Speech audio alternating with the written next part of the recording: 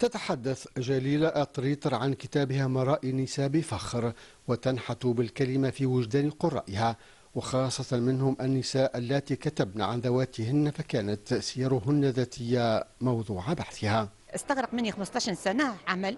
هو كتاب في الواقع آه، يعيد قراءة تاريخ تحرير المرأة العربية. يعني أنا أعدت المسار التحريري العربي هذيك للمرأة داخل التيار التنويري عودت قريته من زاوية جديدة. مؤلفة كتاب مرائي نساء ذهبت إلى المرأة العربية التي طرحت حقوقها على محك الكتابة.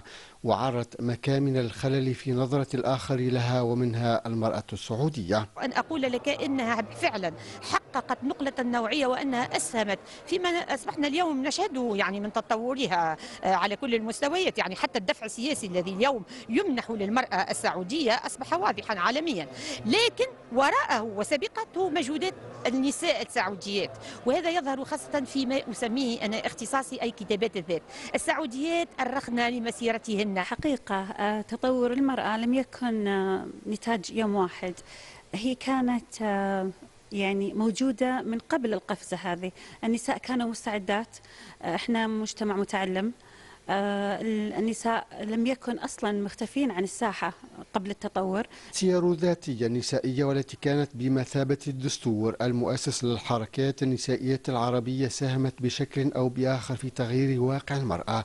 ومنها المرأة السعودية التي يلاحظ الكل أنها أصبحت تحتل مكانة أكثر أهمية في المجتمع. المرأة السعودية من قديم الزمن وهي آه، مرأة آه، فاعلة في المجتمع فاعلة في مجتمعها. ولكن في الآونة الأخيرة تم إبرازها وظهورها وتم تمكينها بحيث أنها تقع في أماكن مهمة في المراكز والمناصب.